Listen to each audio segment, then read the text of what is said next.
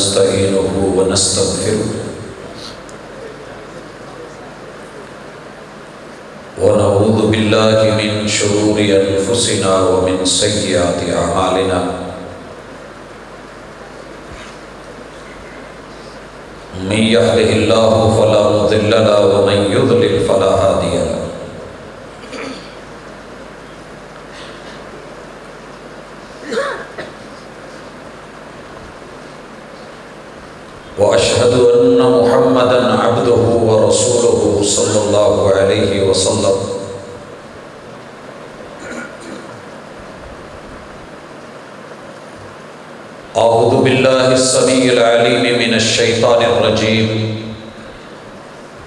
रबिशरहली सदरी वयसरली अमरी वहलुलदतमिलसानी यफ़ी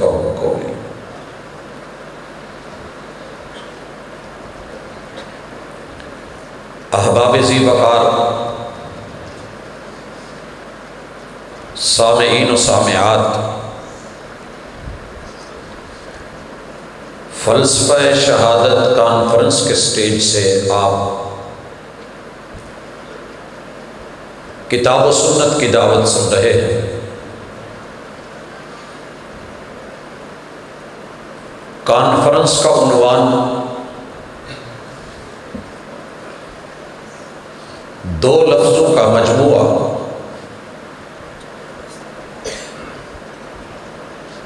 फलसफा मेरे और आपके यहाँ जैसा कि आपने मुझसे कबल उसकी ताबीर और तशरी सुनी। लेकिन इस लफ्ज़ को एक दफ़ा अच्छी तरह समझिए, ताकि हम शहादत की तरफ़ उसके उसूल, जवाबित, कवायद। अकसाम अनवा और इस्लाम के लिए दी जाने वाली कुर्बानियों को समझ सकें।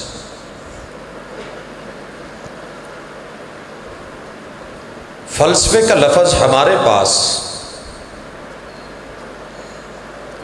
ज़्यादा से ज़्यादा हिकमत और किसी चीज़ की मकसदियत के लिए इस्तेमाल हो रहा है। अगर इस लफ्ज़ को वैसे लिया जाए, जिस मकसद के लिए ये लफ्ज़ बना था या जिनके लिए बोला था तो लफ्ज़ इतना शायद पसंदीदा नहीं है। वैसे आप देखते हैं कि एम फिल और पी एच डी हजरात, ये फ़लसफ़े के मास्टर होते हैं। और उसी में फिर डॉक्टरेट पोस्ट डॉक्टरेट करवाई जाती है कि आप किसी चीज़ की लॉजिक दें। ये क्यों हुआ, कैसे हुआ, कब हुआ? ये सवाल बुनियादी तौर पे शुरू हुए थे अल्लाह की तोहीद पे एतराज़ात की शक्ल में। और उसे नाम फ़लसफ़ा दिया गया। इसकी एक मिसाल आपको फ़लसफ़े के करीब कर देगी। एक फ़लसफ़ी देहात में से गुज़रा।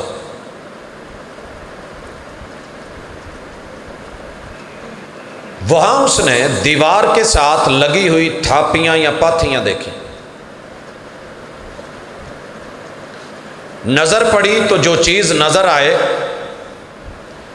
क्यों, कब, कैसे इंसान की सोच, दिमाग दिल सवाल करती है और पूछना चाहती है। लिहाजा खड़े होके कहने लगा, ये क्या है? ये क्या है? जवाब आया, ये भैंस की गोबर है। कहा, गोबर है, भैंस ने दी है। तो कश से सकल का उसूल ये कहता है कश अर्दी ज़मीन नीचे है, भैंस जिस पोजीशन में होती है, गोबर को ज़मीन पे आके गिरना चाहिए था, ये दीवार पे कैसे लग गई? फिर मजीद सोचने लगा कि दुनिया में जो भी है, उसको जानने के लिए सारे अंदाजे लगाने, तखमीने लगाने मफरूज़े कायम करने। और इसी से मफरूज़ा तहकीक भी था कि बंदा मफरूज़े कायम करे, फ़र्ज़ करें, ये हो सकता है। ये भैंस दीवार पे चढ़ी कैसे होगी? और अगर ये वहाँ चढ़ गई तो रुकी कैसे होगी? अगर रुक भी गई इसने गोबर की तो फिर भी उसका रुख इधर को होना चाहिए था, इधर कैसे चला गया? अगर ये फ़लसफ़ा है तो हम माजरत करते हैं। अगर ये फ़लसफ़ा है तो माजरत करते हैं। और एक फ़लसफ़े की दूसरी मिसाल जिसको उन्होंने तहकीक का नाम दिया कि उसके पीछे फ़लसफ़ा होता है। हमारे पाकिस्तान की एक मिठाई है जलेबी। ये बाहर के मुल्क चली गई। बाहर के माहरीन ने, वहाँ के इंजीनियर्स ने,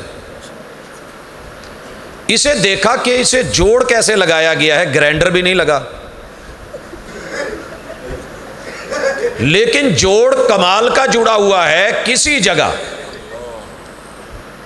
कोई मामला भी आगे पीछे नहीं, और सबसे बड़ी बात यह है कि इनके अंदर रस कैसे भरा गया, कोई सुराख भी नहीं, कोई नट बोल्ट पेच भी नहीं, कोई ढकना भी नहीं, और कहीं से सुरिंज भी नहीं लगी हुई, अंदर ये रस कैसे भरा है?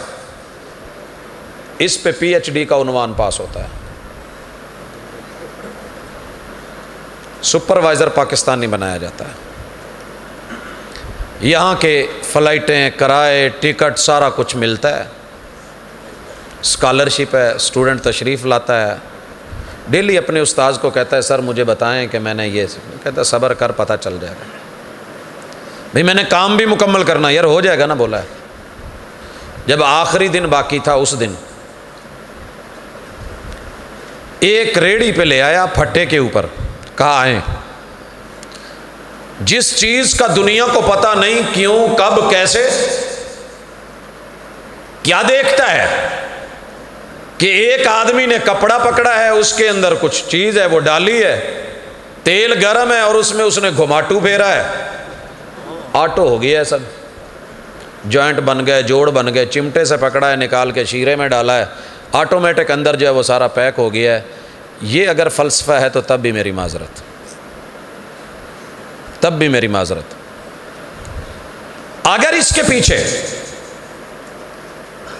सवाल ये है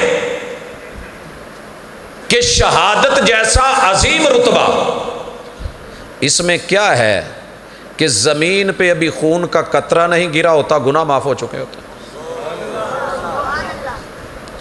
और इसमें क्या है कि वक़्त के पैम्बर सलाम ये उम्मीदें कर करके, आरजुएँ करके इस दुनिया से गए। काश मुझे ज़िंदगी मिले, शहीद कर दिया जाए। शहादत के बाद रब फिर पूछे, क्या चाहिए? तो कहूँ, शहीद होना चाहता हूँ वापस जाकर। और फिर ज़िंदगी मिले, फिर शहीद होकर के आऊँ। और क्या वजह है? कि कांटा चुभे तो तकलीफ़ होती है। और अपनी गर्दन हथेली पे रख करके, मैदान में उतर के, अपने आप को पेश कर दिया जाता है। तो भाइयों, अगर ये है सवाल तो आइए, मैं अल्लाह की तौफीक के साथ कोशिश करूँगा। फिर एक ही फ़लसफ़ा, एक ही मकसद, एक ही टारगेट है। कि ये ज़मीन, ये दुनिया सब अल्लाह की है, नेमतें सब अल्लाह की हैं, इंसान भी अल्लाह का है। लिहाजा यहाँ कानून भी अल्लाह का चलेगा, अल्लाह का हुक्म चलेगा। अगर अल्लाह का हुक्म रब का आर्डर चलता है तो फिर शहादतों की ज़रूरत, फिर शहादतों की ज़रूरत नहीं होती। फिर अमल की ज़रूरत होती है, दावत की ज़रूरत होती है। लेकिन जब रब की ज़मीन पे रब का खा के रब का लेके, रब का पहन के।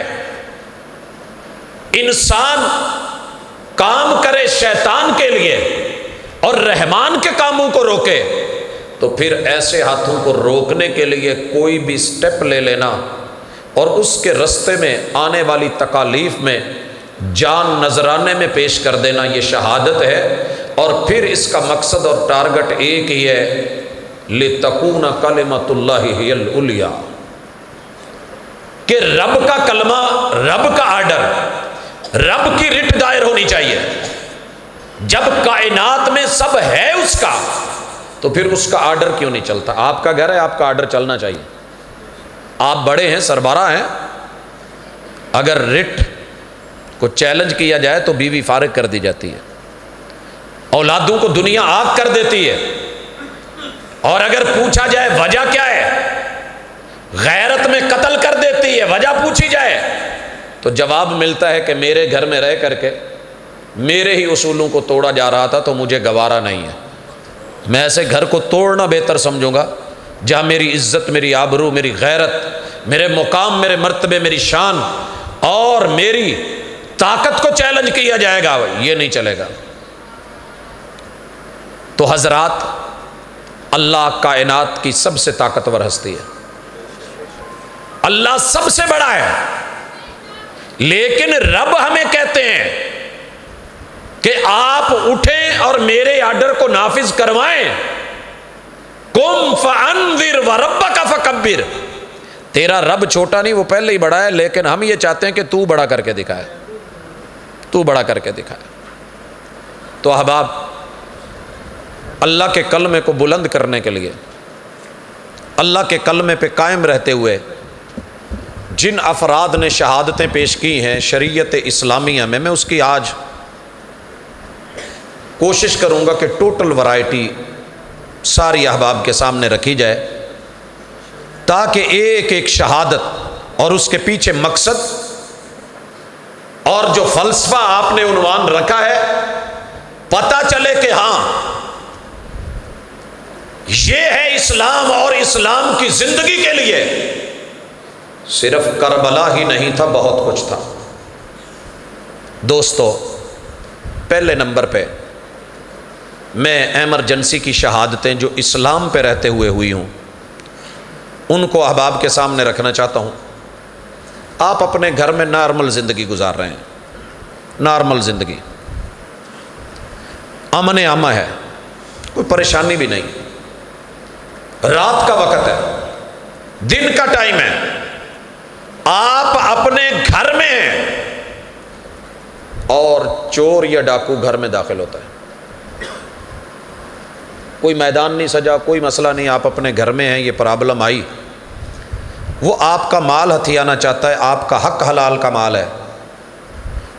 मोहम्मद अलैहि वसल्लम फरमाते हैं मम्मात दून माल ही फ़हुआ शहीद। ये जायज़ तरीके से हक हलाल कमाया हुआ माल इसके लिए दिफा करते हुए, लड़ते हुए मर जाता है, मार दिया जाता है। मोहम्मद अलैहि वसल्लम फरमाते हैं, ये मरतबा शहादत पे फायज़ है।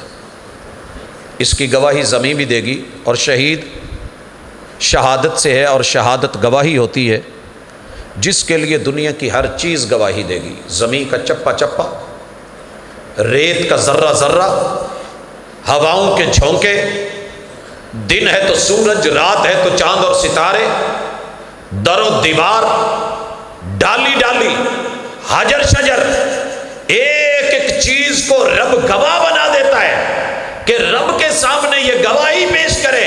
अल्लाह हम कि तेरे इस बंदे ने दुनिया में तेरा निज़ाम और तेरा उसूल नहीं टूटने दिया। जान तोड़ बैठा है तो कोई बात नहीं। जान तोड़ कोशिश करके, सर तोड़ कोशिश करके इसने अपनी, तेरी दी हुई ज़िंदगी वो जो है पेश कर दी है, लेकिन आँच नहीं आने दी। रिज के हलाल और रिज के हलाल की ये अजमत है। अक्सर भाई सवाल करते हैं और उन्हें इस शहादत में जवाब मिल जाएगा। कि जनाब, मेरा काम जायज़ है, मैं हक पे भी हूँ, लेकिन जिनसे करवाने जा रहा हूँ, वो रुकावट बने हुए हैं, रिश्वत मांगते हैं। मैं दूँ कि नहीं दूँ? मुझसे सवाल करने की कोई ज़रूरत नहीं। जब आपने हलाल तरीके से कमाया है, क्या वजह है कि आप को मजबूर किया जा रहा हो? डाका सिर्फ़ यही नहीं है कि घर में आके डला है, ये भी डाके हैं जेब पे। तो आपने यहाँ अपने आप को मज़बूत रखना है। रब का माल। ला ताकुलू अमवालकुम बैनकुम बिल बातिल। अल्लाह ने इसके ऊपर भी शहादत रख दी है। दूसरी किस्म, जो बंदा उसके ऊपर अटैक हुआ है। लोगों ने आके अचानक हमला किया है, वो इस पोजीशन में नहीं था। लड़ने का इरादा भी नहीं रखता था। लेकिन इसके ऊपर जान लेने के लिए दुनिया तुली है। और ये अपनी जान बचाते हुए कि रब की अमानत है, मैंने इसे आसानी से नहीं देना किसी को। ये फिर भी शहीद हो फौत हो जाता है, मोहम्मद रसुल्लम कहते हैं फ़हुआ शहीद, ये शहीद है। शहादत की तीसरी किस्म, उसका ताल्लुक भी एमरजेंसी से है। आपकी या मेरी इज़्ज़त है। बहन है, बेटी है, बहू है, बीवी है, माँ है कोई उसकी इज़्ज़त को लेने के लिए, इज़्ज़त छीनने के लिए, अपने नापाक अजायम की तकमील के लिए बढ़ा है और आप अपनी इज़्ज़त के दिफा में लड़ते हुए मारे गए हैं तो मोहम्मद अलैहि वसल्लम कहते हैं शहादत है। भाई चौथी शहादत, इसका ताल्लुक भी एमरजेंसी से है, लेकिन आफात बलियात और कुदरती निज़ाम से जुड़ी हुई ये शहादत है। आप सोए हुए थे, मैं लेटा हुआ था। छत गिर गई, जलजला आ गया, इमारत गिर गई, नीचे दब गए, बुलंदी पे थे, गिरे हदमन। हदमन मौत हो गई है। मोहम्मद रसूल सल्लम कहते हैं, मरतबा शहादत पे फ़ायदा। पाँचवें नंबर पे सिलाब आया है। और उस सिलाब में घर बह गए, मकानात बह गए, इंसान बह गए। और गर्क हो के बंदा कुएँ में, किसी खुई में, किसी जो है, वो खाई में गिर गया नदी नालों में, दरिया में, समंदर में, ऐसी हालत में आई है, उसे मौत मोहम्मद रसूल सल्लम कहते हैं, शहादत के रुतबे पे छठी शहादत, औरत अपने मिशन के तकमील में। एक मोमिन इन सब चीज़ों के साथ ईमान जुड़ा हुआ है, ये जहन में रखना। ईमान की हिफाजत में, ईमान के लिए नस्ल को आगे बढ़ा रही थी। नस्ल इंसानी के ईमान की दौलत मोहम्मद रसुल्लम की उम्मत बढ़े, लेकिन वो दुरान जिचगी अल्लाह को प्यारी हो जाती है अलैहि वसल्लम फरमाते हैं, ये औरत शहादत के रुतबे पे फायज है। कितनी हो गई? छः सातवीं किस्म, उसका ताल्लुक मोहम्मद रसूलुल्लाह। सल्लल्लाहु अलैहि वआलैहि वसल्लम ने मेरे और आपके महबूब ने जोड़ा और वो है कि जो बंदा नमूनिए से मर जाता है, ज़ात जम आप हैरान होंगे कि रसूलुल्लाह सल्लल्लाहु अलैहि वसल्लम ने जब इसे नमूनिया सर्दियों की रातें हों, ठंडे पानों से वज़ू हो, मस्जिद की तरफ़ जा रहा हो, नहाने की ज़रूरत हो, जब पानी को हाथ लगाने को भी दिल नहीं करता, सहूलत भी मैसर नहीं। सिर्फ़ इसलिए नहाया है कि मैंने फजर की नमाज़ पढ़नी है और ठंडा पानी है ठंडी हवा लगी है, नमूनिया की तकलीफ़ हो गई है, ये शख्स अपने ईमान के ऊपर कायम है और इसी हालत में मौत हो जाती है, आसमान से परवाना शहादत दे दिया जाता है।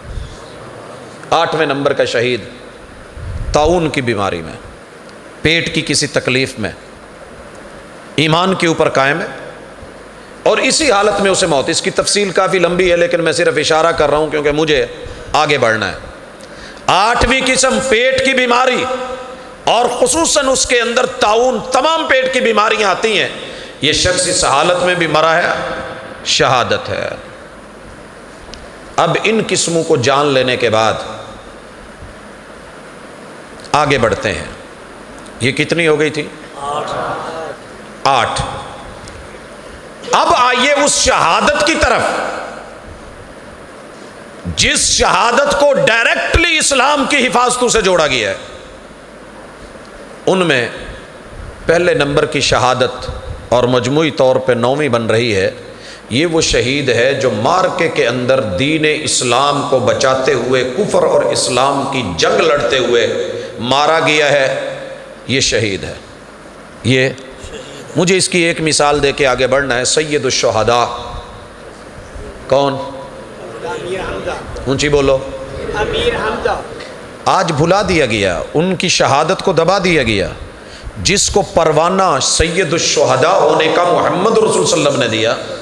ओद के मैदान में जिनकी लाश का मुसला कर दिया गया आँखें निकाल ली गई कान काट दिए गए नाक काट दी गई सीने को चीर के कलेजा और अंदर से जिगर निकाल के कच्चा चबाया गया। फिर उसको जो है परोया गया रस्सियों में और गले में हार डाल के, ये सेट डाल के अपनी दुश्मनी का जो है पूरा इजहार किया।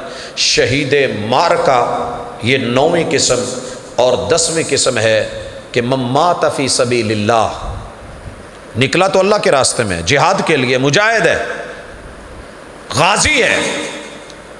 लेकिन रास्ते के अंदर अभी मार्के में नहीं पहुँचा, या मार्के के अंदर शहीद नहीं हुआ, वापस लौट रहा था रास्ते में, तभी मौत भी मर गया है, फ़हुआ शहीद, ये भी शहीद है। ये बंदा शहीद है। और ग्यारहवीं किस्म, शहीद तलब, शहादत मांग रहा है, लेकिन उसे मौत तभी आई है। रसूलुल्लाह सल्लल्लाहु अलैहि वसल्लम का सच्चा फरमान सही मुस्लिम में कि जो बंदा अपने रब से सच्चे मानों में शहादत की डिमांड करता रहता है, लेकिन उसकी मौत बिस्तर पे भी आ जाए, नहीं वो कहीं उसे मौका मिला। शहीद है जैसे हज़रत खालिद इबन वलीद है रदी अल्लाह ताला एक एक मार के में नौ नौ तलवारें भी तोड़ी हैं। मैदान के अंदर ज़िंदगी गुजर गई है, और पुश्तों के पुश्ते लगाए हैं। ये वो हस्ती है, मुझे लगता है कि शहादत की तलाश में एक दफ़ा आपने देखा है कि तीन लाख के सामने सिर्फ़ तीन हज़ार लेके चले गए थे। तीन लाख के सामने। तीन हज़ार। और एक मौका ऐसा भी आया था जहाँ साठ हज़ार के सामने सिर्फ़ छः को लेके खड़े थे। पढ़ें ज़रा तारीख को। क्या ये मौत की तलब नहीं थी? शहादत की तलब नहीं थी? आम आज का कोई आदमी हो क्या बोलेगा? लेकिन जब मौत आई तो चार शहादत है। बारहवीं शहादत इस्लाम की हिफाजत के लिए। लोगों, ये है शहीद इजियत। पढ़िए तारीख में। बेशुमार लोग, इजियतें छोटी छोटी थी, लेकिन इस कदर दी गई और इतनी दी गई, इतना टार्चर किया गया कि आखिर वो बच ना पाए। मेरे महबूब गुज़रते हैं और आल यासर कहते हैं, अल्लाह के महबूब सलाम अकेली जान फंसी हुई है। सारे दुश्मन हैं। आप भी साथ नहीं दे सकते। कहा सब्रन या आला यासिर।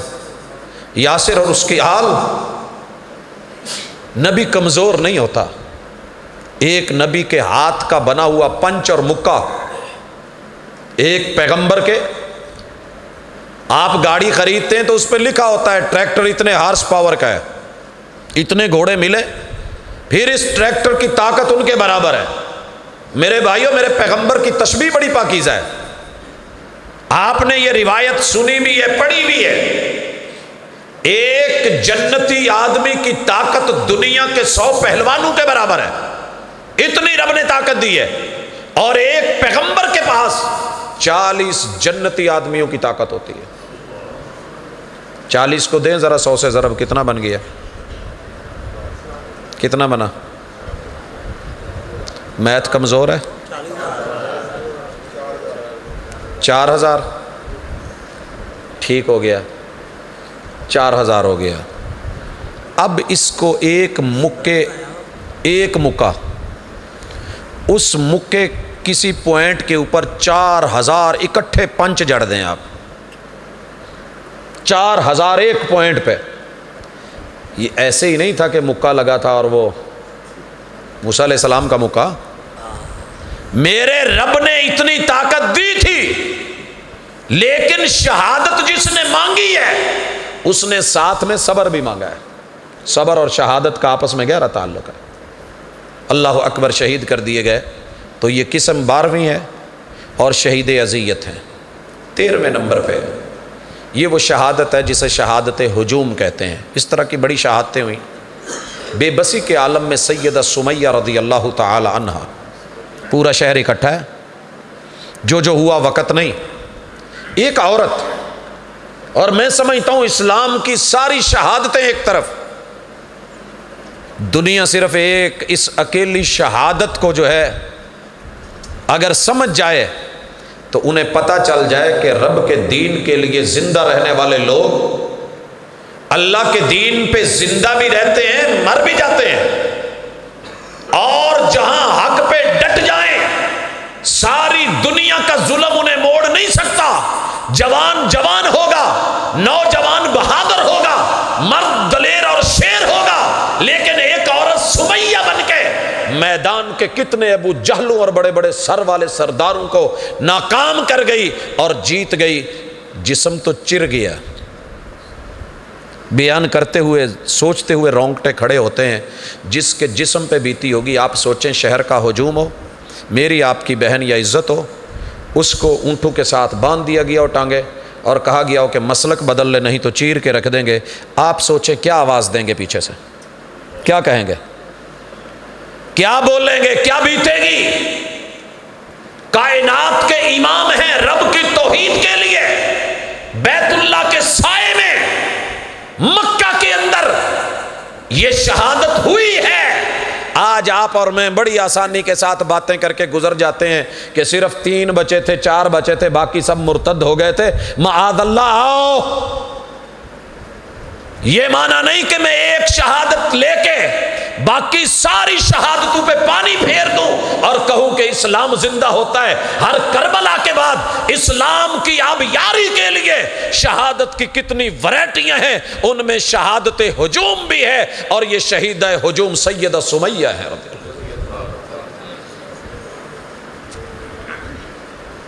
कितनी हो गई?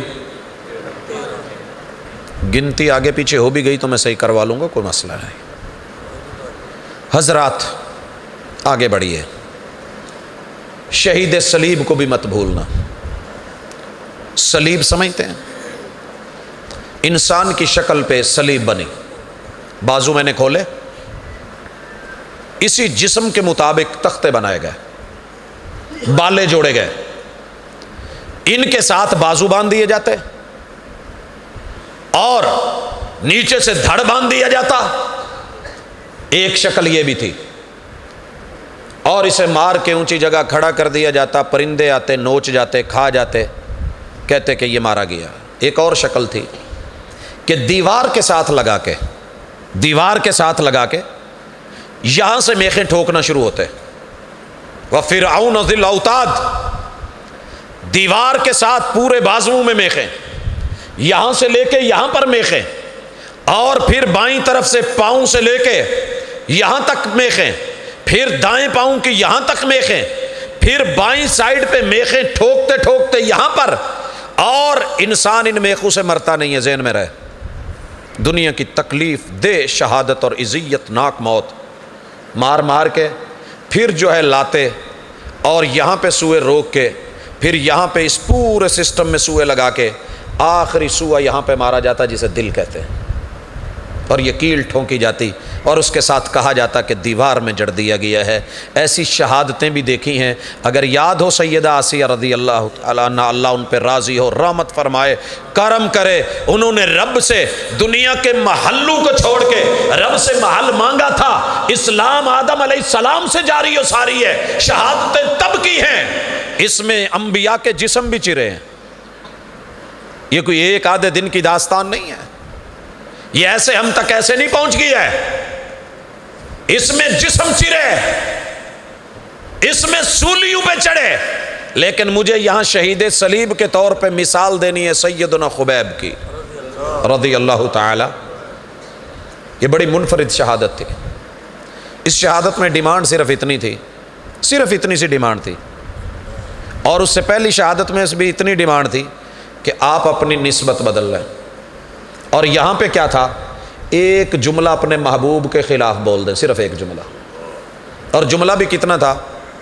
कि आप कह दें, आप कह दें कि जिसका मैंने कलमा पढ़ा है, मैं उसके पीछे लग के फंस गया हूँ, काश आज वो मेरी जगह होता। है मैं बच जाता। ये वाक्य आपने बड़ी तफसील से सुना है, लेकिन मुझे यहाँ फ़लसफ़े में ला के इतनी बड़ी कोई बात तो नहीं थी बाज़ाहिर हमारे यहाँ जिससे मर्ज़ी जब उगलवा लें। लेकिन कहा जो तुमसे होता है, कर डालो।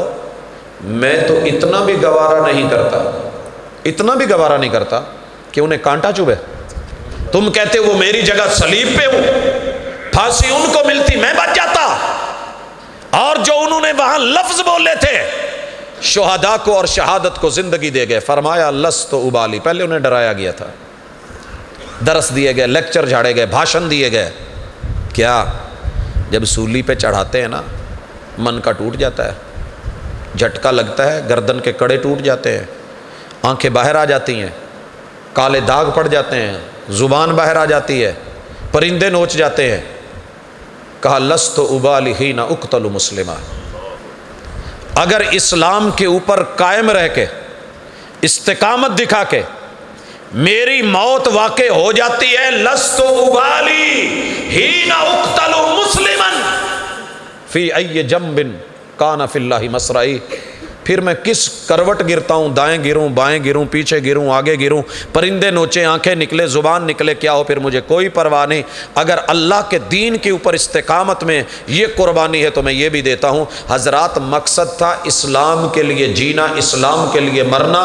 कुल इन सलाती व नुसुकी व महया व ममाती हम इस्लाम के लिए शायद मार तो लेते हैं, मर तो जाते हैं, मगर उस पर ज़िंदगी कायम करनी मुश्किल हो जाती है।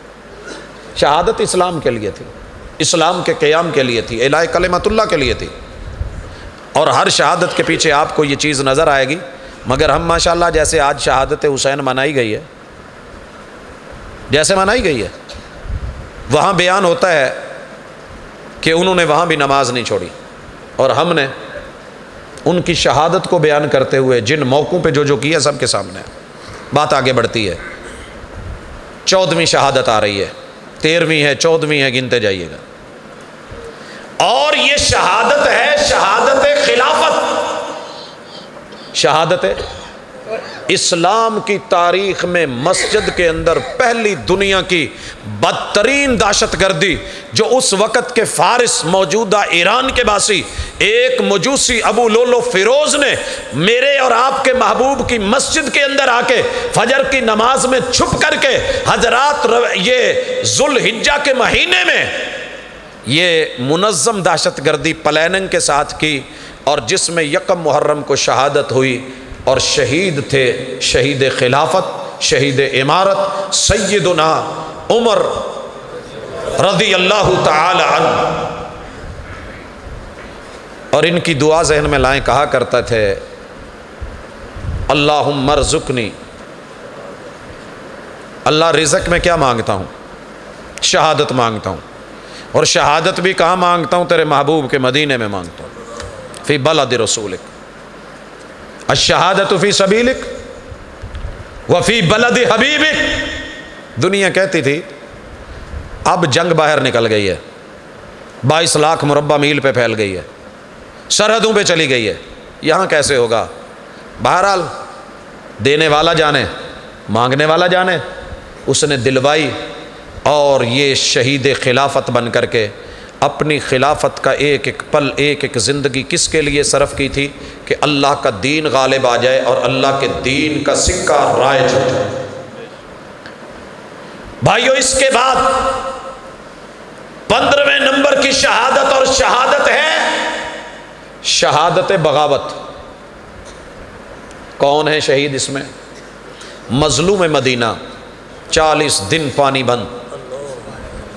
अगर मेरे दीन में मातम जायज़ होता, पीटना, कपड़े फाड़ने, चीखना और थपेड़े अपने चेहरों और जिसम पे मारना जायज़ होते, मुझे किसी का तो पता नहीं मेरी जमात के अंदर से ये शहादत फिर इस तरह बयान होती कि पूरी दुनिया अपना आप सब कुछ जो है वो ख़त्म कर लेती, इतनी ज़ालिमाना किस्म की और इतनी मजलूमाना नौीयत की ये शहादत है।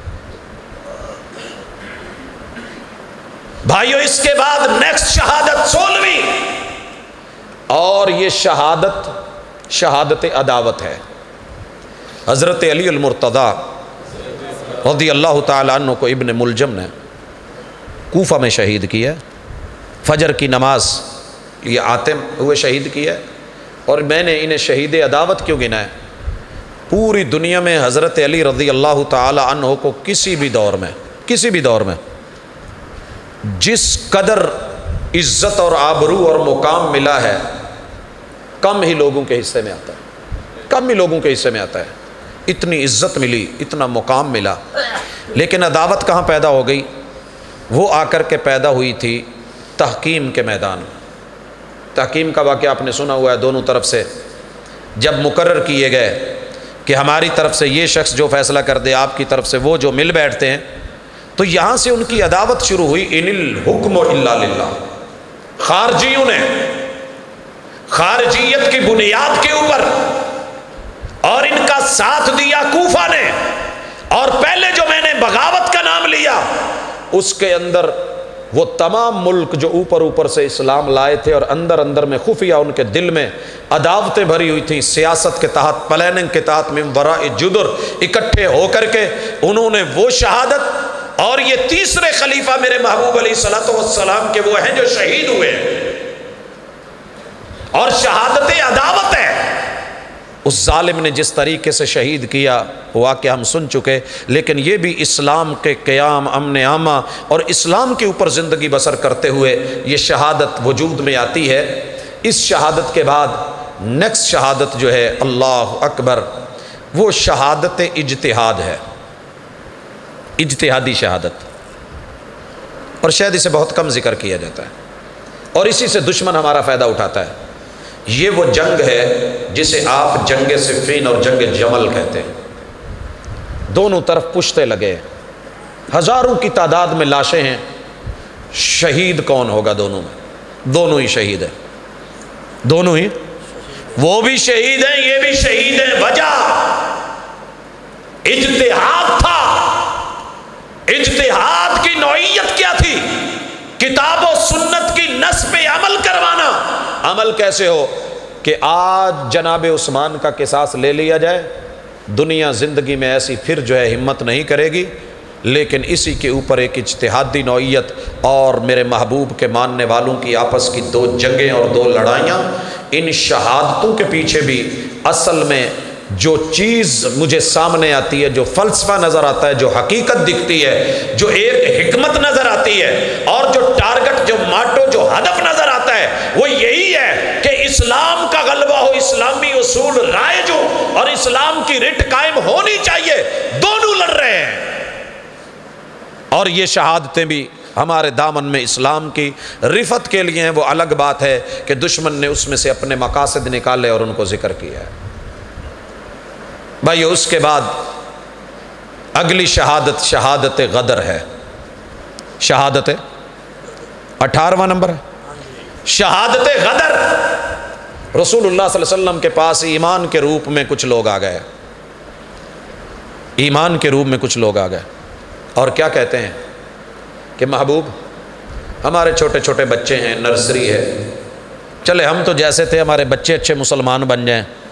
हाफज कुरान बन जाए कारी कुरान बन जाए, हमें आप अपने मुअल्लिम और इस दें, वो हमारे इलाकों में जाएँ, हम वेलकम करेंगे वाक़ मशहूर है।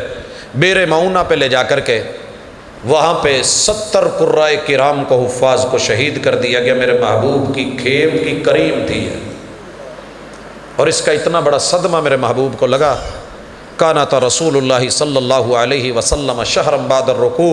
पूरा महीना आप हर फ़र्ज़ नमाज़ की आखिरी रकत में रुकू के बाद हाथ उठा के दुआ नाजला फरमाते रहे। फजर, जोहर, असर, मगरब, इशा।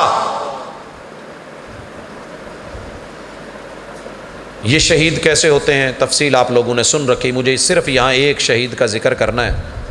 एक बकरे को दूसरे बकरे के सामने ज़बा कर दिया जाए तो उसकी मैं मर जाती है। उनहत्तर लाशें हराम इबन मलहान के सामने गिराए गए हैं। उनहत्तर लाशें। एक एक को इज़्ज़त दे के वहाँ शहीद किया गया।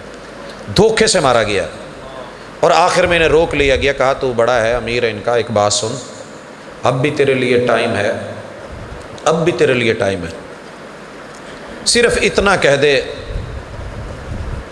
कि लात जो है ना मुझे उसके लिए माफ़ कर दें, या उज़्ज़ा के लिए माफ़ कर दें, या हुबल के लिए माफ़ कर दें।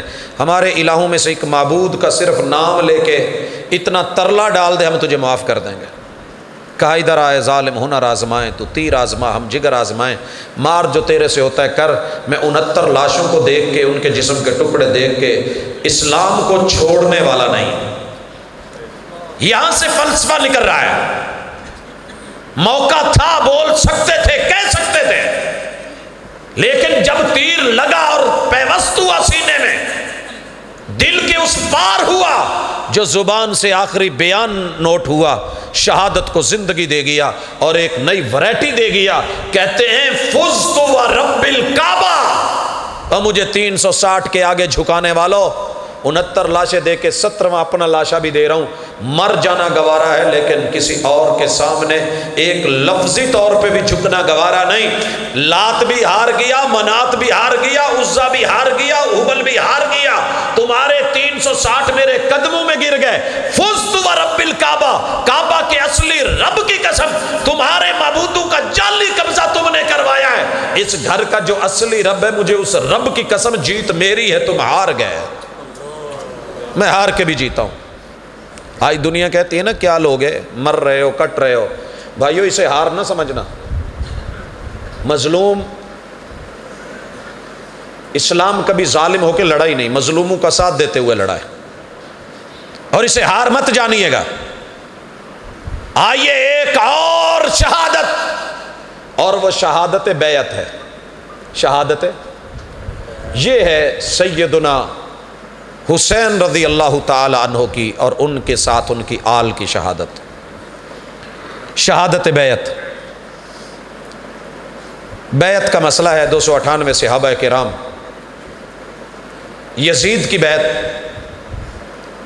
कर चुके हैं अब्दुल्ला इबन ज़ुबैर और सर फहरिस्त खसूस सैदना हुसैन रदी अल्लाह नामी गिरामी नामों में से ये दो डटे हैं।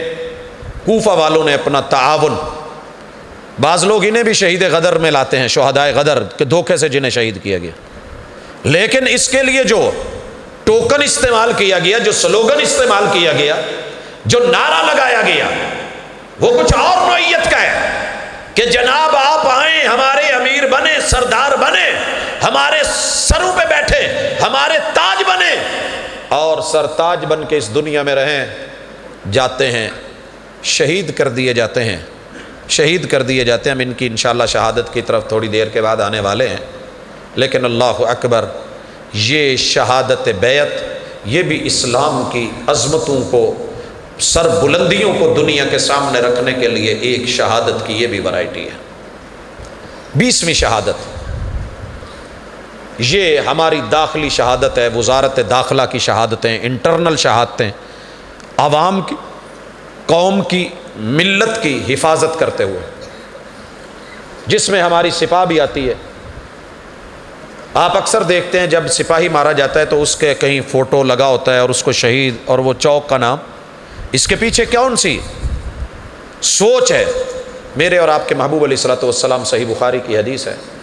मदीने में कुछ लोग आते हैं, कलमा पढ़ते हैं, मुसलमान हो जाते हैं, और उनको मदीने की हवा रास नहीं आती। खुराक से पेट फूल जाते हैं। आप सलाम हकीम उम्मत, मैं उन हकीमों से माजरत के साथ ये बात कह रहा हूँ जो मेरे महबूब से ज़्यादा पढ़ गए कुछ ओलमा मेरे महबूब से शायद ज़्यादा पढ़े हुए ख़ुद को समझते हैं और कुछ हकीम भी अपने आप को रसूल वसम की हमत से ज़्यादा समझते हैं। मसलन, ज़्यादा पढ़े हुए लोग आप अक्सर सुनते हैं जी, बुखारी में हदीस है। मैं बुखारी को इसलिए नहीं मानता, उसमें यह हदीस है कि अलैहि वसल्लम ने खड़े होकर पेशाब किया था। मैं इसलिए बुखारी को नहीं मानता। क्यों नहीं मानता भाई? ये हो ही नहीं सकता, तेरी सोच है ना, नहीं हो सकता। मेरे महबूब पूरी उम्मत के लिए रहमत बन के आए थे और इस्लाम सब के लिए। इंटरनेशनल दीन है। पूरी दुनिया में सब के लिए, ये बच्चों के लिए भी, जवानों के लिए भी, मरीजों के लिए भी, बूढ़ों के लिए भी। एक वक़्त आता है, हर बूढ़े को चेयर मुयसर नहीं और कुर्सी वाला कमोड मुयसर नहीं। उसके जोड़, उसकी कमर, उसके जोड़, अंग अंग।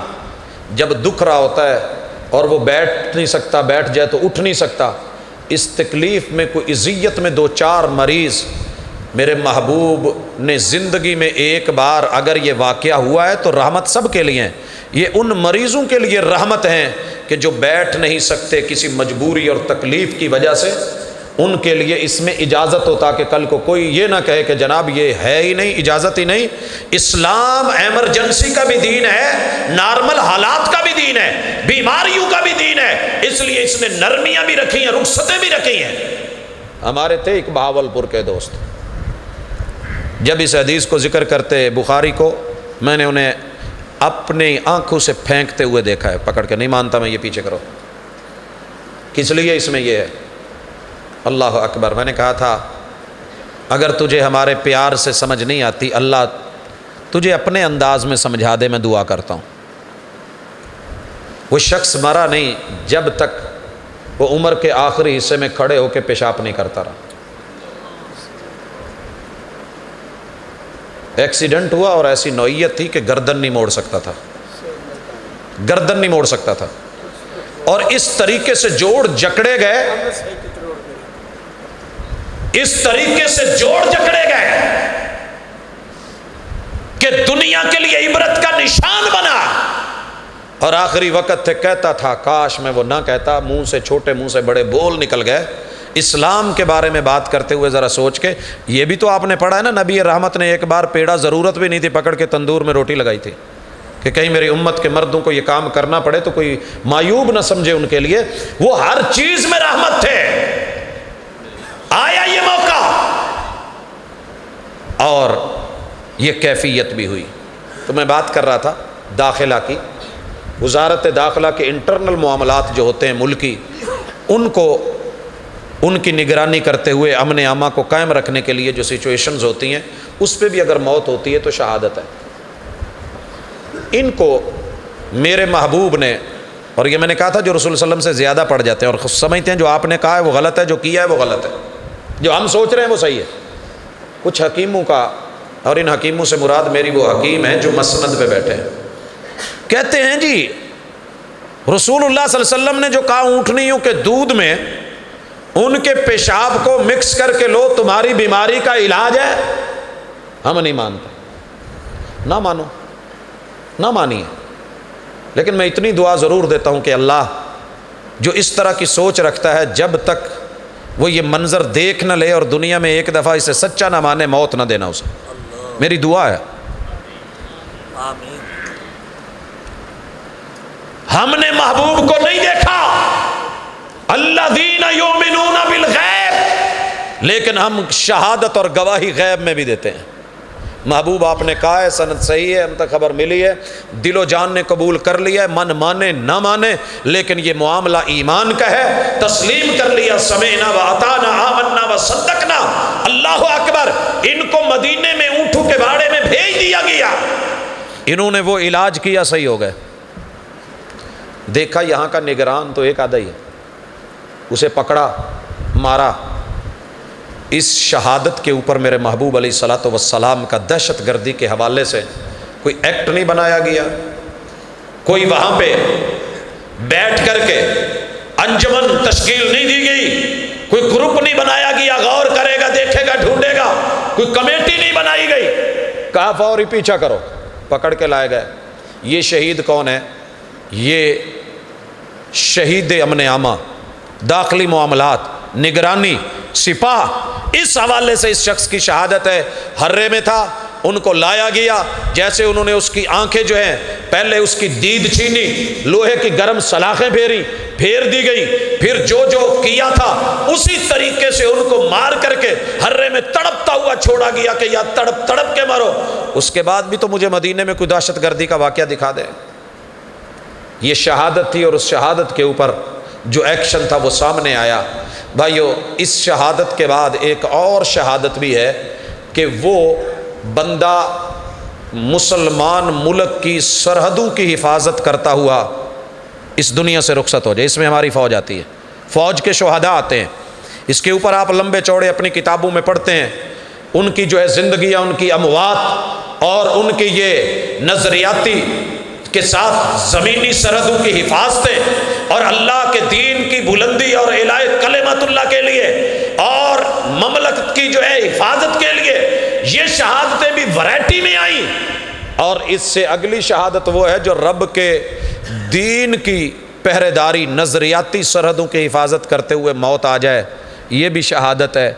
और इसमें लाहौर किला लक्ष्मण सिंह की शहादतों की इब्तदा और दास्तान और फिर वहाँ से आगे चलती हुई, बढ़ती हुई ये दास्तान। अलामा एहसान लाई ज़हीर क्या कर रहे थे? क्या कर रहे थे उस वक़्त? सैदोना मुर्शिदोना भाइयों, दुनिया के सैयद, उनकी सीन को सलाम होता है। इनके एक एक ज़ुबान से निकले हुए जुमले और हरफ और हरफों पे पड़े हुए नुक्तों को भी तारीख ज़िंदगी भर सलाम करती रहेगी, जब तक बाकी है कि दीनी नज़रियाती सरहदों के मुहाफिजीन, चौकीदार, जब दुनिया सो जाती थी, रातों को जागने वाले, ये उलमा की इल्म की बुनियाद पर शहादत, जिसे इग्नोर किया जाता है, जिसे रद्द किया जाता है, जिसे बयान करने से हिचकिचाया जाता है, लोगों, ये शहादत के फलसफा पढ़िए इस्लाम के लिए अगर आज नजरियाती जहनी, दिली, दिमागी, इल्मी, अमली तौर पे अगर उसको कायम और दायम रखने के लिए, उसकी सही शक्ल को दुनिया के अंदर जारी और सारी रखने के लिए शहादतें हैं तो ये उसकी एक आला मिसाल है। अब ये सारी शहादत की आप लोगों ने किसमें सुनी? मज़ीद भी हैं, लेकिन मैं इक्तफ़ा करता हूँ क्योंकि मुझे वापस लौटना है उस शहादत की तरफ़ जिसकी आज तारीख हुई। यहाँ मुझे सबसे पहला थोड़ा सा एहसास व इदराक ये है कि मैंने इसी मुल्क में रह के दस दिन देखे। दस दिन देखे। आज क्या है? ग्यारह है भाई। मगरब के साथ ही तारीख बदल चुकी है। मगरब तलक मैंने जो मंज़र देखे उसमें सब में जो अंदाज़ था जो स्टाइल था जो चलना था जो वो कुछ और था। अभी मगरब के बाद जब कारवान वापस जा रहे थे तो अंदाज़ कुछ और था। मैं बड़ा हैरान हूँ। पूरी दुनिया में शहादत मौत का उसूल ये है कि मरने के बाद गम किया जाता है।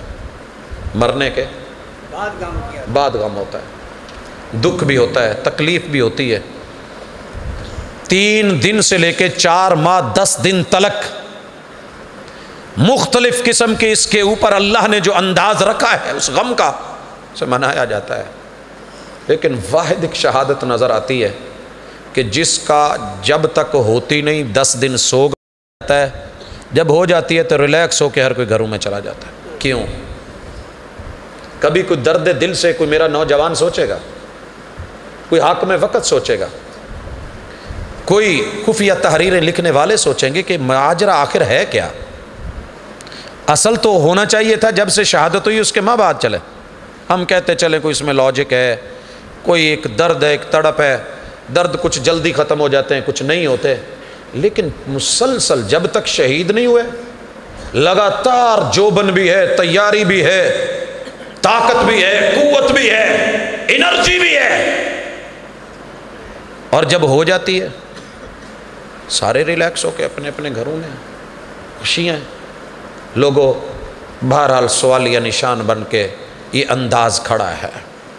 अब आइए, जिस शहादत को आज छेड़ा जा रहा है और उसके तस्करे बयान हो रहे हैं, इसमें उसूलों के साथ अगर चलिए तो अपने बच्चों को ज़रूर सिखाना ज़रूर सिखाना। हमारे बच्चे पूछते हैं कि बाबा माजरा क्या था? हम क्या करते हैं? कहीं पे टीवी लगा के जी, ये जो दो चार बयान आते हैं, ये सुन लें। कोई चार मजलसे सुन लें। बरेलवी भाई, वो अपने अंदाज में बयान कर देते हैं। देवबंदी हजरात अपने में आल और कोई कह देता है, जी, चुप रहो, ये बयान करने वाली बात नहीं, बस इतना पता है। भाई, अपनी नस्ल तक अमानत पहुँचा के जाओ। पहली बात यह कि ये कुफर और इस्लाम की जंग नहीं थी। कुफर और इस्लाम की जंग नहीं थी। कुफर और इस्लाम की जो जंगें हैं, आप उन्हें गिने। बदर से लेके बढ़ते चले जाएँ। मेरे महबूब की जंगें हुई हैं। ये कुफर और इस्लाम की जंगें थी। अहजाब में सारी कौमें मिल गई हैं। लेकिन जंग सिफीन और जंग जमल, ये भी कुफर और इस्लाम की जंग नहीं है। मोमिनों की एक इजतहादी, मैं पहले ज़िक्र कर चुका, शहदा, इजतहाद के शहदा हैं। और ये जो शहादत वाक़ हुई है, ये कुफर और इस्लाम की जंग नहीं थी। फिर सवाल यह है कि नहीं थी तो क्या था? हमारे बेशुमार उलमा, काफ़ी सारे दोस्त अबाब कह देते हैं जी, सियासत की जंग थी, माजरत। और कहा जाता है सैदना हुसैन की सियासी गलती थी, नाराज़ ना होना। आप उनकी पूरी लाइफ पढ़ें, ज़िंदगी पढ़ें, फिर हुक्म लगाना, ये भी नहीं था। सबकी किताबों ने यह लिखा है कि जब कूफा जाने की बजाय यू टर्न लेके करबला की तरफ़ चले गए और मुड़ गए रास्ता छोड़ दिया बाईपास पे निकल गए दिमश की तरफ़। यहाँ उनका जो बयान है, जब अहले कूफा ने पकड़ा है, पीछे आए हैं, क्या था? कि मैं कूफा जाने वाला नहीं हूँ। माजरत, जो आपने कर दिया कर दिया। मुस्लिम बिन अकील के साथ माँ बाद मेरे नुमाइंदू के साथ, मेरे बाबा अली के साथ, भाई हसन के साथ अब इससे बेहतर यह है, या मुझे वहाँ जाने दो जहाँ सरहदों पे कुफर और इस्लाम की लड़ाई हो रही है, मैं वहाँ जाके लड़ूं। ये थी कुफर और इस्लाम की जंग। जहाँ जाने नहीं दिया गया। या फिर मुझे वापस लौट जाने दिया जाए, जहाँ से मैं आया हूँ, या फिर मुझे उधर जाने दिया जाए, जिधर से आप लोगों ने रोका था, मैं जाके यजीद के हाथ पे बैत कर लूँ। ये अपनी किताबों में भी दर्ज है। लिहाजा ना तो इसे कुफर और इस्लाम की जंग समझा जाए, ना इसे सियासत और अमारत और हुकूमत और मनसब और अहदे की के लिए लड़ी जाने वाली जंग समझा जाए। ये दुश्मनों ने अपने अंदाज में जैसे दुश्मनी ली, बुलाया और जो कुछ हुआ वो सब अपनी जगह। भाई इसके बाद मदीने से मक्का रवानगी का मरहला, जब बैत नहीं की है, इस मरहले को आपने जहन में रखना है, अपने बच्चों को बताएँ, पढ़ें। ये पैदल, ये सवारियों के सफ़र 420 आज का किलोमीटर सफ़र, जो छः घंटे में भी हो जाता है, चार में भी हो जाता है, तीन में भी हो रहा है, अढ़ाई में भी हो रहा है। और फ़्लाइट है तो इससे भी कम में हो रहा है। लेकिन उस वक़्त वक़्त लगा है। आठ जिल हिज्जा को जब सब हज की तैयारी कर रहे हैं तो कोफा के लिए इनकी रवानगी पे वो नाम ज़रूर पढ़िएगा। वो नाम ज़रूर पढ़िएगा। जिन्होंने लगाम पकड़ पकड़ के, सामने बिलक बिलक के और कहा, आप मेरे ऊपर से गुजर के घोड़े लेकर के चले जाएँ तो चले जाएँ, वैसे मैं नहीं जाने दूँगा। इन बावफाओं के नाम भी पढ़िएगा और असहाब रसूल सल्लल्लाहु के अफराद को देखिएगा, जो ये कह रहे हैं कि कूफा की तरफ़ ना जाइए, वहाँ हलाकतें नज़र आती हैं। सतुक तलुगदन कल आप अपने आल और औलाद में बेरहमी से शहीद कर दिए जाएँगे। बुलाने वाला आपके साथ कोई नहीं खड़ा होगा। हम बाबा थे इसलिए नज़रों से गिर गए, तुझको तिलाश शायद किसी बेवफा की है। मेरे महबूब के असहाब और खसूसी तौर पे शहादत बयान करने वाले और सुनने वालों की भी ज़िम्मेदारी है। जो लोग सुनते हैं, अल्लाह का शुक्र है, हम ज़रूरत देते हैं अपने सुनने वालों को। आपको कहीं कोई चीज़ मुनासिब ना लगे, सवाल लिखो, इस्तफसार करो, पूछो। इतनी ज़रूरत तो होनी चाहिए। इतना तो पूछा जाना चाहिए। ये तो कम अज कम दिलो दिमाग में हो कि शहादतें बयान करते हो। और जो उस शहादत से पहले 20, 30, 40 साल जो लोग पहले शहादत पा गए हैं इस दुनिया से रुखसत हो गए हैं उनको गालियाँ क्यों देते हो? उनका क्या कसूर था? इस शहादत की आड़ में सैदना सिद्दीक अकबर का क्या कसूर था? जनाब उम्र फारूक, जनाब उस्मान रदी अल्लाह कोई तो रोकने वाला हो, कोई तो टोकने वाला हो। कोई तो पूछे कि जनाब, इस शहादत के अंदर जो मुलवस है, उनकी आप बात करें। लेकिन जो थे ही नहीं उस वक्त, उनका तस्करा कैसे हो रहा है? था ना आपने मिसाल पढ़ी उस भेड़िए की? बकरी का बच्चा या भेड़ का बच्चा पानी पी रहा है। और भेड़िया कहता है, जी, मैंने तुम्हें मार देना है। कहा, क्यों? कहा, तू पानी गंदा कर रहा है। कहा अच्छा पानी गंदा कर रहा हूँ। कहा, जनाब, पानी आपकी तरफ़ से आ रहा है। पानी आपकी तरफ़ से आ रहा है। कहा, नहीं, पिछले साल पिछले साल तूने एक दफ़ा पानी पिया था तो इस तरफ़ था। कहा, जनाब, मैं तो पिछले साल था ही नहीं। कहा, तू नहीं तो फिर तेरी माँ होगी। लिहाजा, तुम्हें खाना ही है, मारना ही है, छोड़ना नहीं। भाई, मोहम्मद रसूलुल्लाह वसल्लम के सहाबा, जाने कुर्बान करने वाले, इस्लाम को सर बुलंदी देने वाले, और फिर इस एक शहादत के, इस वाक़े के पीछे आकर के आप हज़रत उस्मान का ना कोई रिश्ता छोड़े, ना खालू छोड़े, ना कोई अज़ीज़ छोड़े, ना मेरे महबूब के पाक असहाब छोड़े, और उनके ऊपर खुलेआम गुफ्तगु की जाए। और फिर दुनिया सोचे कि अमन होगा, ऐसे अमन नहीं होते, अल्लाह करे कि असल अमन हो, जिस अमन के अंदर ज़ुबान का अमन भी शामिल है। हाथों के अमन की तो हमें कोशिश है, लेकिन ज़ुबान का अमन तब तक मुमकिन नहीं जब तक उन नामूस हस्तियों की शहादतों के ऊपर तबर्राबाजी ख़त्म नहीं होती। फिर उसके बाद जोग्राफियाई पहलू भी मद्देनज़र रखिए शहादत बयान करें, खुल के करें। काबिल बयान है, काबिल इज़्ज़त है, काबिल आबरू है। लेकिन बयान करते हुए ये जहन में ज़रूर रखें कि ज़मीनी हक़ क्या थे। वो कम्युनिकेशन नहीं, उस वक़्त सेटेलाइट का दौर नहीं था। खिलाई सैारे मौजूद नहीं थे। मोबाइल भी नहीं था। कोई पी टी सी एल का लैंड नंबर भी नहीं था। लैंड लाइनें नहीं थी। मैसेज या फैक्स सिस्टम भी नहीं था। कि इधर वाक्य उधर बयान कर दिया जाए, इधर बने क्लिप लेके उधर जो है सेंड कर दिया जाए व्हाट्सएप हो जाए, फुला पे हो जाए, और सारा जो है वो बयान कर दिया जाए। ज़मीन पे चल के या दौड़ करके वहाँ पहुँचा जाता था, फ्लाइटें भी नहीं थी, हवाई जहाज़ भी नहीं थे। मक्के से आठ को इधर से अहले बैत रवाना होते हैं। उधर से तेज तरीन सवारी दौड़ाई जाए। तेज तरीन सवारी।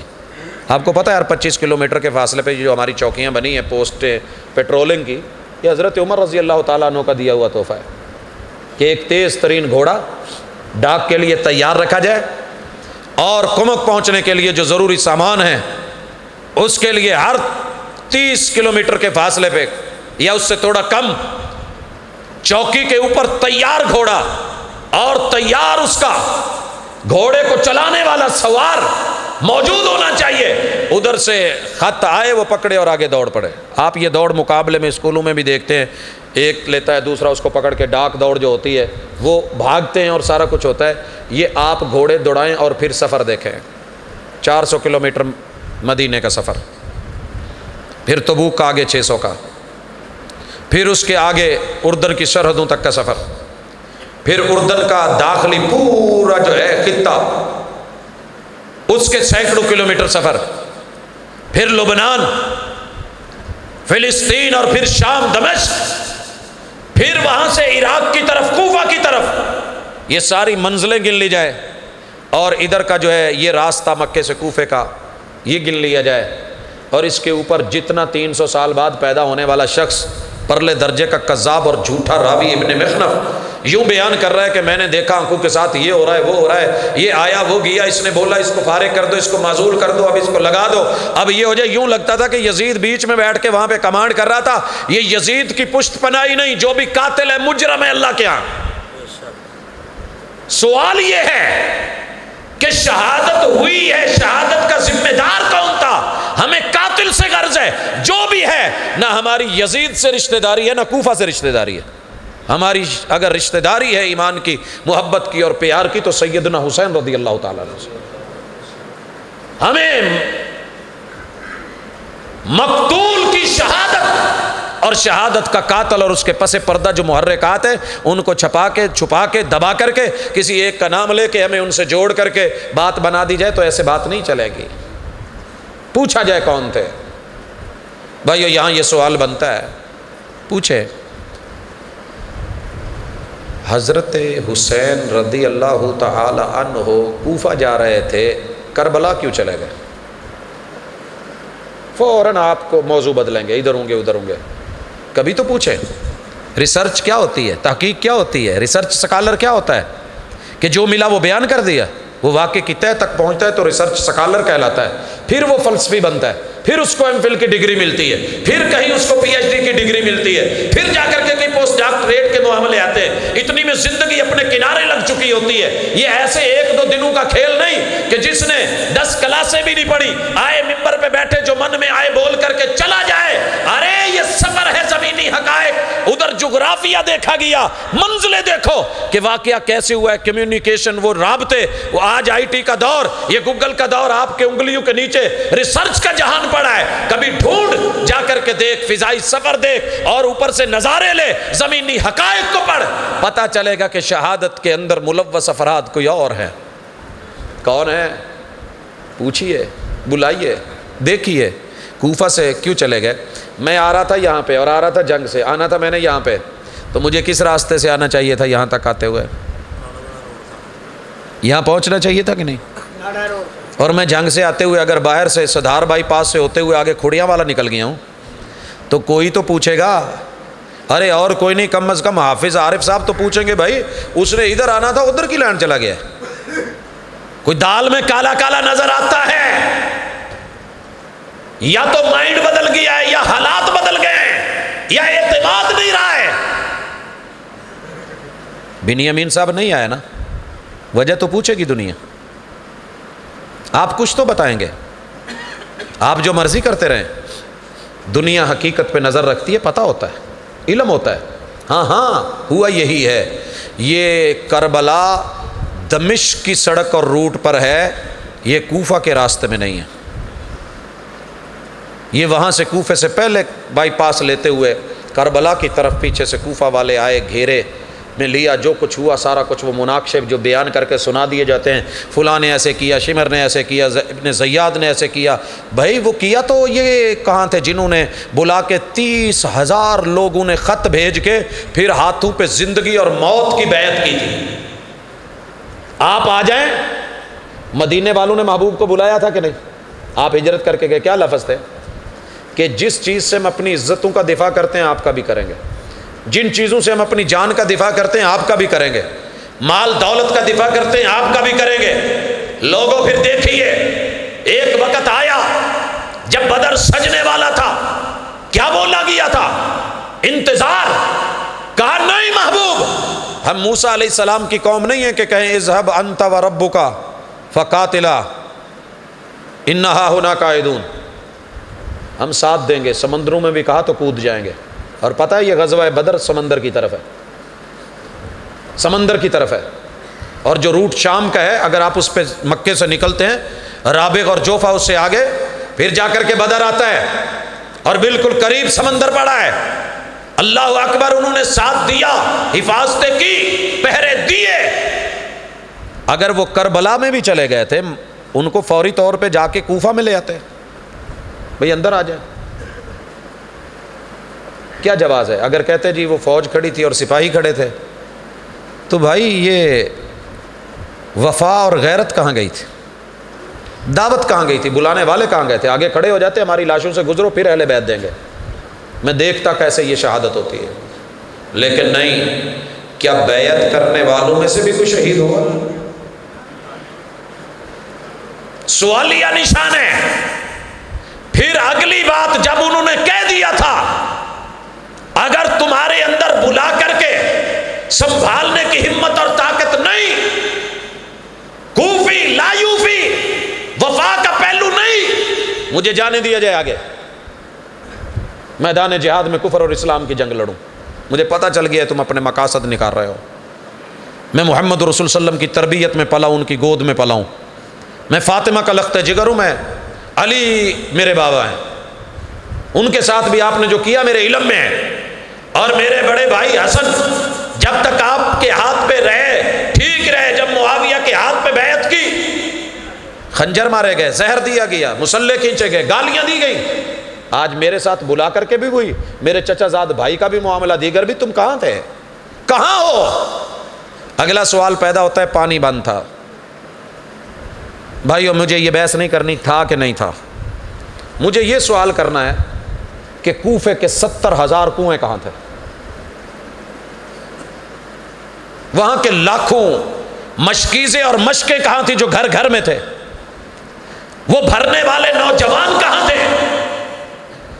इब्राहिम सलाम की चिखा के ऊपर एक चिड़िया ने तो अपने चूंच के कतरे गिरा दिए, वफा का इजहार कर दिया। अरे, ये कहाँ गए? कहाँ गए? वो काल कड़िची चिड़िया तो थी, चूंच भर के। आज पानी के मनाजिर पेश करके कहा जाता है, करबला से कूफा कितनी दूर था, चले फरात पे तो रास्ते बंद कर दिए गए, दिखा दिया, ये हो गया, वो हो गया। मैं ये भी सवाल नहीं करता कि मेहंदी कहाँ से लगी थी, छोड़िए। सवाल ये है कि वो नल के, वो पानी, वो मिशकीज़े, वो क्यों बंद कर दिए गए थे? कूफे की तरफ़ से तो आते ना। वो कहाँ चले गए थे? फिर उसके बाद बड़ी लंबी चौड़ी दास्तानें और कहानियाँ बनाई जाती हैं। भाइयों, कभी किसी भी मसलक की किताब को सही मानों में पढ़ना, जो लिखी किसी ये तीन सौ साल बाद लिखे हुए वाक़े और जाली सनदे और मन गढ़ दास्तान बना के उसके ऊपर सिर्फ़ रोना रुलाना, यहाँ पर सवाल है। हज़रत हुसैन रदी अल्लाह तुन की आल ने वहाँ सब्र किया था या जैसे ये चीख रोला सब कुछ बताते हैं, वो हुआ था?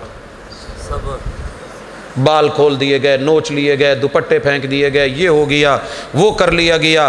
और आले रसूल जो है, यूँ दिखाई जाती है, महाज अल्लाह जैसे इन्होंने कभी दीन सुना भी नहीं था, पढ़ा भी नहीं था, देखा भी नहीं था। ये उस नबी के, ये उस पैम्बर और हस्ती के पाले हुए लोग हैं।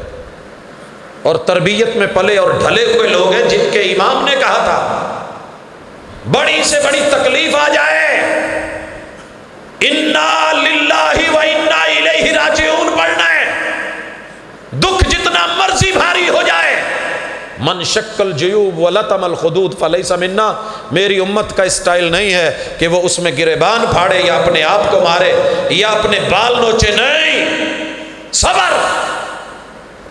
फिर अगला सवाल भी है। उनकी तो शहादत में भी सजदे को, सर को सजदे में दिखाया जाता है। और यहाँ बयान करने वालों के लिए, सुनने वालों के लिए सब मुआफ़ है। क्या पैगाम हुसैन ये था कि नमाजें छोड़ देना। वो तो ऐन मैदान जंग में भी हक अदा कर गए, जो हुआ बयां कर गए। लोगों, बात को समेटना चाहता हूँ। इस शहादत का वाक्य सुनना हुआ तो कभी अल्लाह एहसान जहीर की ज़ुबानी अभी भी पड़ा हुआ है, नेट पे उसे सुन लेना।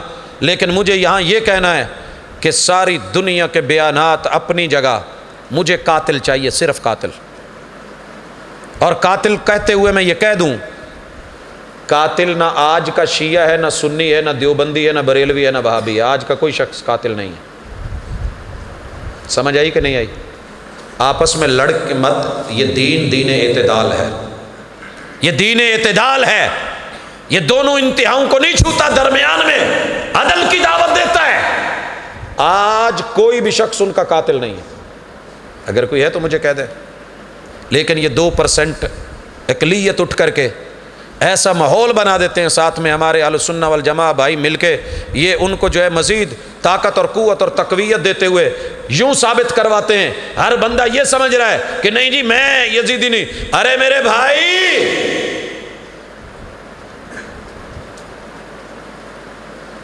जो भी कातिल है वो हमारा नहीं है।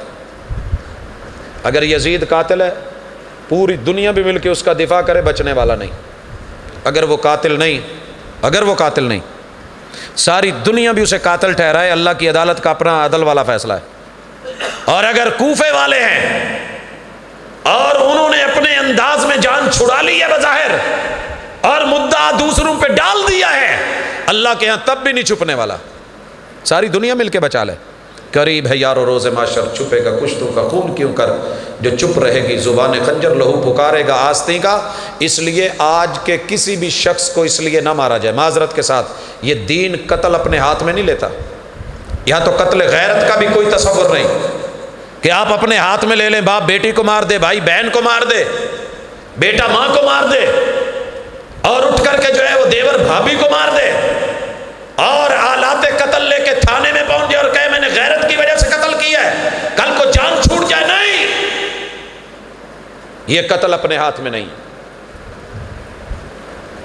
कातिल आज का कोई शख्स नहीं। कातिल कौन था? कल।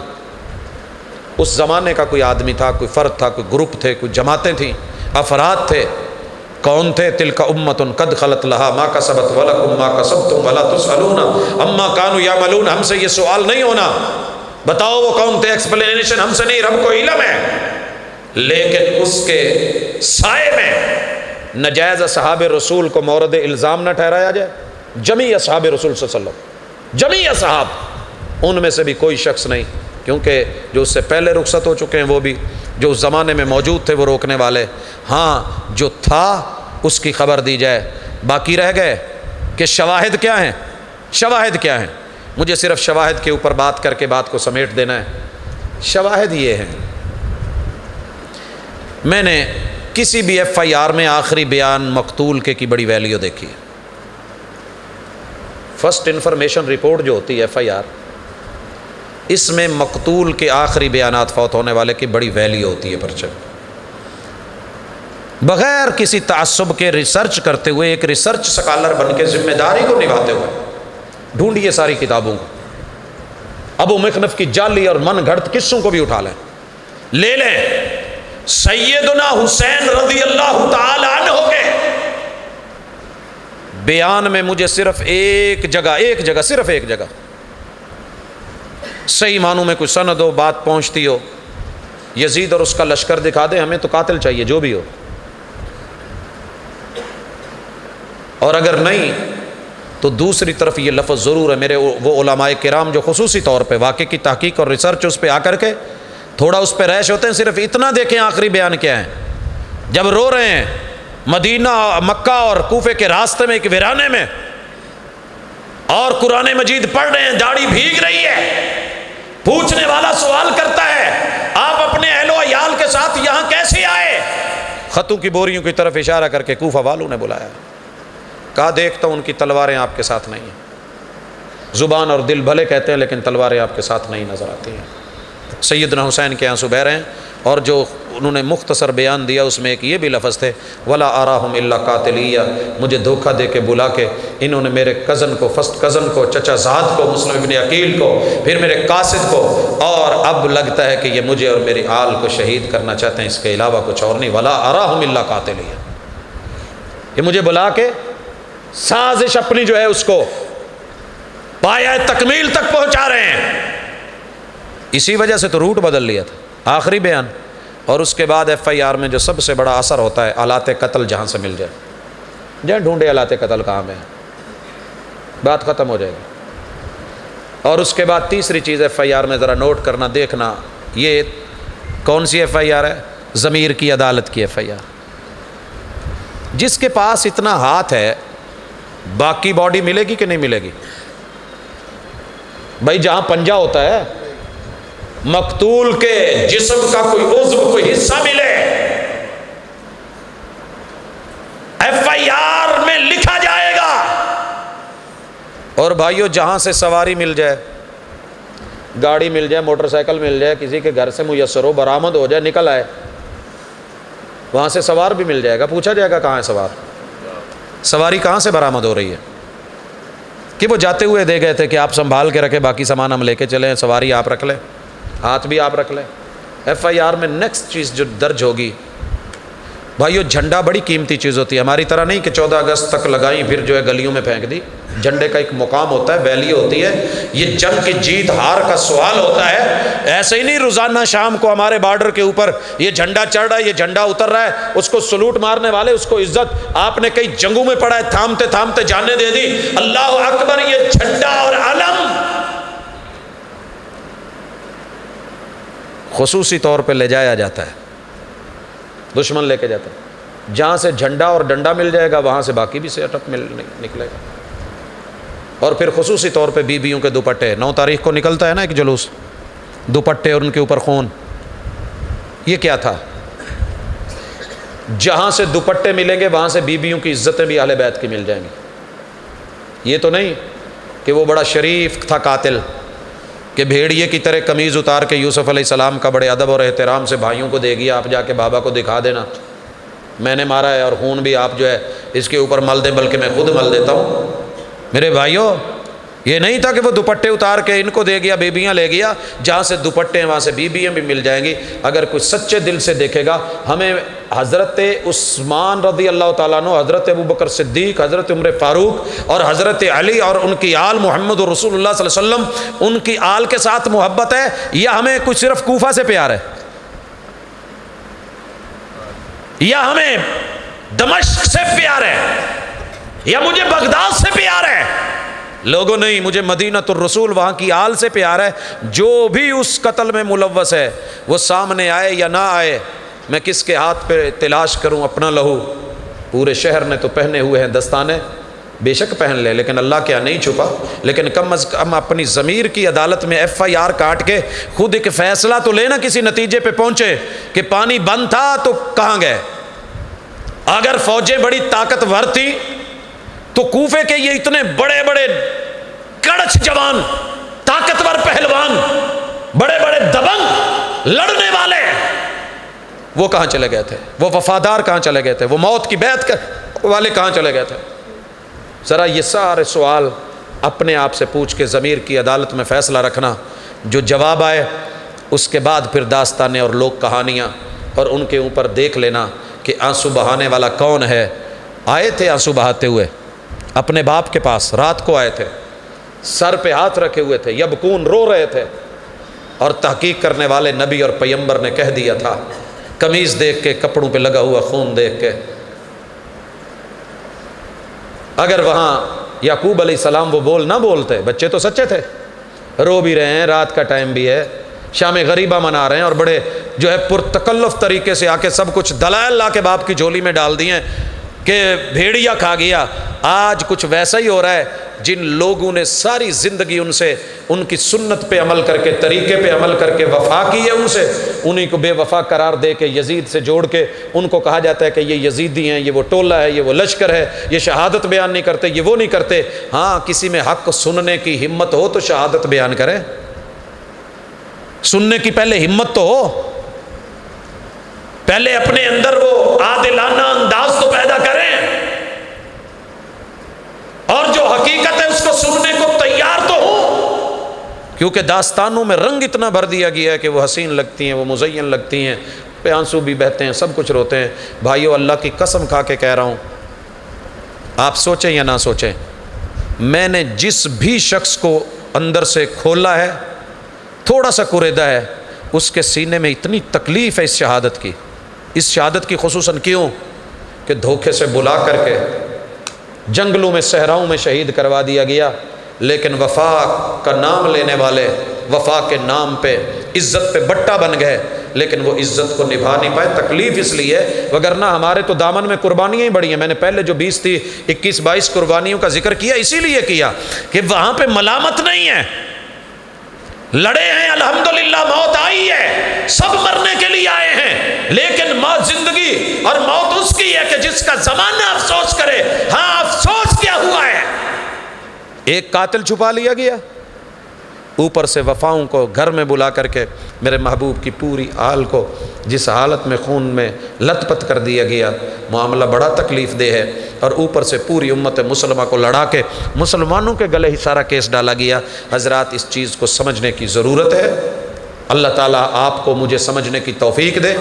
जब भी कोई कलम पकड़ेगा, तहरीर लिखेगा और कोई सोचेगा, दिलो दिमाग के साथ, हकायक के साथ, अदिल्ला के साथ बैनात के साथ, तारीख के साथ खेले हुए मामला के बंदा तीन सौ साल बाद पैदा होता है वहाँ था ही नहीं। पूरी दास्तान करबला जो बनाई गई है। मिनट मिनट में ये आ रहा है, वो जा रहा है ऐसे कह रहा है, इसको उठा दिया जाए, इसको मजूल कर दिया जाए, इसको यूँ कर दिया जाए। यूँ लगता है कि उसी मैदान में सारी कमांड बैठी हुई थी और दमिश को उठा के वहाँ ला दिया गया था और सारा हुआ था और कूफा बरी जिम्मा हो गया है। जान छूट गई है जी। उनके पास ताकत थी कुत थी, लिहाजा खाली हाथ भी लड़े हैं। मोमिन है तो लड़ता है, बेतेग भी सिपाही।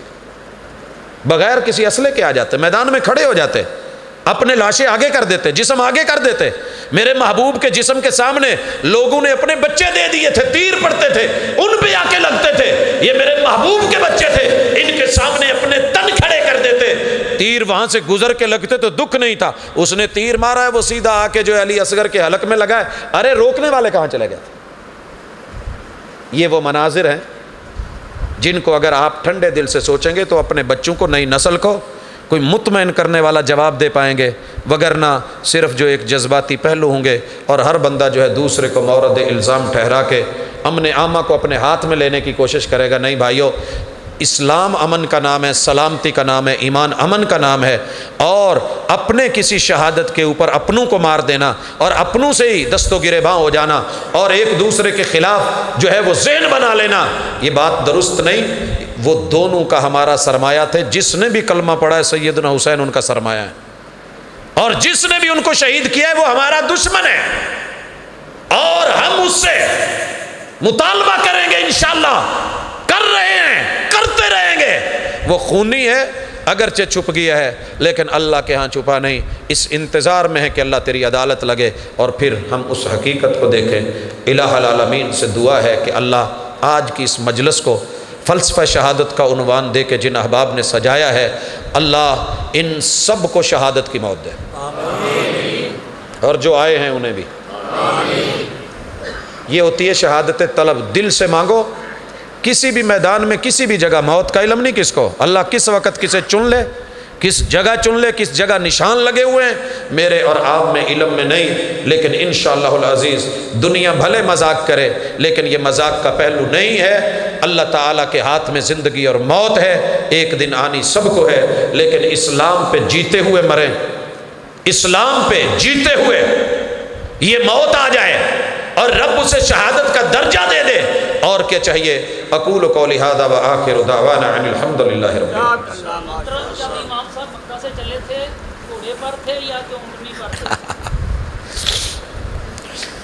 भाइयों ने सवारी पूछी है जब मक्के से चले थे तो घोड़ा था या ऊँटनी थी? सारे पे जानते हैं ऊँटनी थी। लेकिन फिर उसके बाद रास्ते में सवारी का बदलना या तब्दील करना कोई परेशानी वाली बात नहीं है इन चक्रों में ना पड़ें। आप ये देखें कि हुआ यहाँ दो सवाल शायद बाद में कोई करे या आए कि यजीद ने बदला क्यों नहीं लिया यजीद ने बदला क्यों नहीं लिया है? और ये मलूकियत क्यों कायम हुई थी? ये दो बड़े अहम सवाल हैं, इनको जहन में रख लें। भाइयों, मलूकियत किस चीज़ का नाम है? कहते हैं, अमीर मुआविया को इसलिए गाली देंगे कि उन्होंने बादशाहत कायम कर दी थी। भाइयों, नाराज़ ना होना। हज़रत अली के बाद कौन थे खलीफा? ऊँची बोले। तो बात तो यहाँ से शुरू करें ना फिर। बाप के बाद बेटा कौन बना है? हज़रत हसन। ये बात क्यों दबा ली जाती है? अगर एतराज़ करना है तो यहाँ हज़रत अली रदी अल्लाह तु पे करें। अगर वो नहीं है तो फिर करें, कूफा पे करें। आगाज़ वहाँ से हुआ है। अगर बाप के बाद बेटे का हाके माना, मलूकियत है तो ये क्यों छुपाया जा रहा है? और फिर ये ये अगर यजीद बरी ज़िम्मा था, मैं नहीं मानता बरी ज़िम्मा था। लेकिन आप कहते हैं जी बरी ज़िम्मा था तो कातिल क्यों नहीं पकड़े? हज़रत उस्मान की शहादत के फ़ौर बाद अमीरमिन कौन है? यजीद तो मेरे अली के जूते के बराबर भी नहीं हो सकता ना। शान पे अगर चले जाएँ, वो सिहाबी हैं। अमीरमिन है। और अगर ताकत की बात तो अलामा इसान जहीर रहमा ने, जो लफ्ज़ कहे थे, वो किसी से छुपे नहीं। अभी शायद आप और मैं भूले नहीं कि जब अली की शान बयान की जाती है, जनाब खैबर, व मरहब के किले का दरवाज़ा जब पकड़ा एक हाथ से उखाड़ा, अल्लाह आसमान पे परेशान हो गए। कहा जी कहा जी, कहा, फौरी पहुँचो, अली आज गुस्से में है। इन्होंने तलवार चला दी, सात ज़मीनें काट करके जिस बैल ने अपने सींग पे ज़मीन उठाई है, वो कट गया तो पूरी ज़मीन ख़त्म, क़यामत बपा हो जाएगी। अल्लाह ने फरिश्ते को भेजा, नीचे पर किया तो पर भी कट गया। इतनी ताकत अली ने। उन्होंने क्यों नहीं लिया था बदला? वहाँ उज़र क्या होते हैं? कुछ ना कुछ पेश किया जाता है कि नहीं पेश किया जाता? कातिल वहीं पे थे कि नहीं? मदीने में थे कि नहीं? सफ़ू में शामिल थे कि नहीं? आकर के बैत की थी कि नहीं? हजरात इसलिए हम किसी की न पुष्ट पनाही करते हैं, न किसी के जो है, ये कहें कि उसके हक में अपना वोट देना चाहते हैं। हमें बस जो भी कातिल है, वो हमारा इज्तमाही दुश्मन है। जो भी है। इधर है या उधर है। हम अल्लाह के हजूर इजहार बरात करते हैं। अल्लाह तेरे हुसैन का और मेरे महबूब की आल का जो भी कातिल है, हमारा उससे कोई ताल्लुक? क्या है? फिर भी अगर कोई शख्स ये इल्ज़ाम हमें दे और ताना दे, फिर उसकी अखलाकी गिरावट से बढ़ करके हम कुछ और नहीं कह सकते। या फिर वो तारीख से वाकिफ़ नहीं, या फिर वो उसको दबा रहा है, बाकी जो भी मुजरम है, वो अल्लाह के यहाँ भी मुजरम, वो हमारा भी मुजरम। बाकी रहेगी नामों की जब हम वो लड़ना नहीं चाहते। हुसैन रदी अल्लाह तहो को इस आड़ में या इस पैराए में ना हम इमाम, हमारा तो आम मस्जिद का इमाम हो मुझे भी इमाम कहते हैं। लेकिन अगर नज़रिया ये हो कि वो इमाम थे, नबियों से भी अफजल थे, और इमाम थे, नबी मासूम नहीं, वो मासूम होते हैं। तो फिर हम उन्हें सैदना हुसैन कहते हैं रज़ी अल्लाह तहो कहते हैं, अगर अलैहिस्सलाम आम सलामती की दुआ है तो हर मुसलमान को दी जा सकती है। अस्सलाम हम सबको कहते हैं, लेकिन अगर इस अकीदे से जड़ा गया है कि ये नबियों के साथ या उनसे आला लोगों के साथ लगता है तो फिर हम अलैहिस्सलाम कहने से माजरत करते हैं वगर ना उनके लिए सलामती की दुआएँ अतहियात के अंदर, अस्सलाम व हम दिन में पाँच बार पढ़ते हैं, और हमारी नमाज़ नमाज़ नहीं होती, जब तक हम उन पर दरूद नहीं भेज लेते। अल्लाह अला मोहम्मद व अला आल मोहम्मद। अकूल को लिहादा व आखिर अलहमदिल्ला जी। जी, ये एक ऐलान है, बड़ा अहम। दोस्त अहबाब नोट करें। पाँच नवंबर। पाँच। भाई, सुन रहे हैं ना पाँच नवंबर? कहाँ जाना है? कहाँ? अलफता स्पोर्ट्स ग्राउंड में। क्यों जाना है? न कॉन्फ्रेंस के लिए, न किसी फर्द के लिए, किसका नाम इश्तिहार में है? नहीं, ये छोड़े बगैर, सोचे बगैर पहुँचना है। क्यों? किस लिए? कि मेरे महबूब की नबूवत के बाद दुनिया में नबूवत नहीं है, जिन्होंने डाका डाला है या दरवाजे खोले, उनकी खबर लेने के लिए, अपनी नई नस्ल को उनकी खबर देने के लिए, इसलिए अपने बच्चों को भी साथ लेके, जवानों को, बुज़ुर्गों को भी लेके पहुँचना। अल्लाह बीमारों को शिफा दे, परेशानियाँ दूर करे। अलहमदिल्ला रबालमीन अर्रहमानरहीम मालिकी यौमिद्दीन इय्याक नअबुदु व इय्याक नस्तईन, इहदिनस सिरातल मुस्तकीम। सिरातल लज़ीना अनअमता अलैहिम गैरिल मग़दूबि अलैहिम वलज़्ज़ालिन हज़रात मेरे वालदेन भी बीमार हैं, घर में भी तकलीफ़ है, जहाँ जहाँ बीमारी है सब के लिए दुआ करें। अल्लाह हमारे बीमारों को शिफा दे दे। अजहिबिलबास रब्बन्नास वशफ़ अंतशाफ़ी ला शिफ़ा इल्ला शिफ़ा शिफ़ा अल्लाह युगादिर सकमा। अल्लाहुम्मा अजहबिलबास रब्बन्नास वशफ़ अंतशाफ़ी ला शिफ़ा अल्ला शिफ़ा शिफ़ा अल्लाह युहादिर सकमा। अल्लाह बच्चे, जवान, बूढ़े, मर्द, औरतें, अल्लाह हमारे घरों में क्लिनिक अस्पतालों में, जो भी बीमार है, अल्लाह उनको शिफा दे दे। अल्लाह शिफा तेरे हाथ में हम दवा करते हैं, दवा बसाओकात नहीं लगती। अल्लाह तू उसमें असर डाल दे, अपनी रहमत, अपने करम से हमें तंदरुस्त कर दे। अल्लाह जिसमानी शिफाएँ भी, रूहानी शिफाएँ भी अता फरमा। अल्लाह जितनी भी इस्लाम के लिए कुर्बानियाँ और शहादतें दी गई हैं, अल्लाह उनको कबूल फरमाते हुए दराजात को बुलंद कर। अल्लाह हमें भी भी ज़िंदगी दी है तो बंदगी दे और मौत देनी है तो शहादत की अता फरमा। इलामीन हमारी ज़िंदगी को ईमान पर और मौत को इस्लाम पे कर दे। अल्लाह दुनिया और आखरत अच्छी कर दे।